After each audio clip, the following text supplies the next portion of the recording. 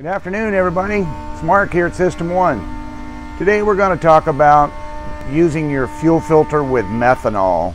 There's some do's and don'ts that we feel everybody should know the, the outcome of what's going to happen if you don't.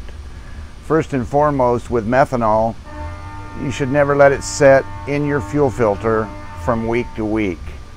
Ideally, you'd want to take it out and clean it up and put it back together dry. Now for the guys that's going to be down for quite some time, we recommend that you take the fuel filter out and clean it up, blow it all off with compressed air from the inside out. Same thing with the spin-on style with a 10 micron spin-on style.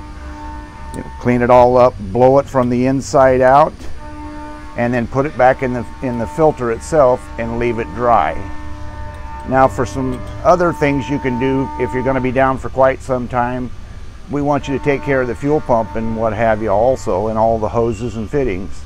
So ideally we want to take the bottom side of the hose off on the bottom of the pump and roll the motor backwards to get all the fuel out of the pump.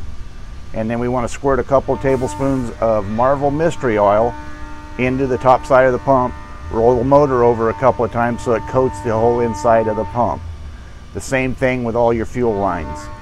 You need to squirt some Marvel Mystery Oil in there and chase it again with some air pressure.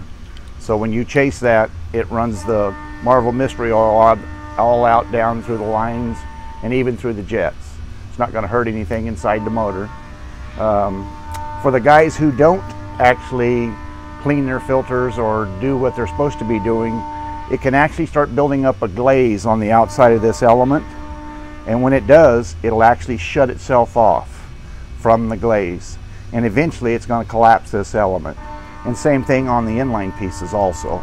Does the same thing. So if you guys will do a little bit, little bit of preventive maintenance, it's going to be better in the long run. If you've got any questions, give us a call here at System One. Be glad to help you.